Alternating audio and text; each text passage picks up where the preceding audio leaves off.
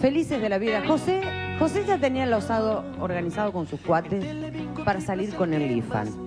Estaba alucinado realmente. ¿eh? De Asunción, Vicencini, ahí está, yo le estoy bajando. Él estaba desesperado, yo le bajaba el, el, de la grúa.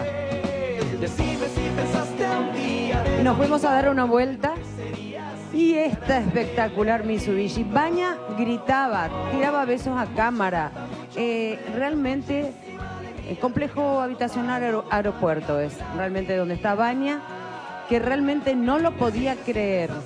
No lo podía creer. Ahí, haciendo el Baña, no podía creer que esa camioneta Mitsubishi era de ella, realmente impresionada.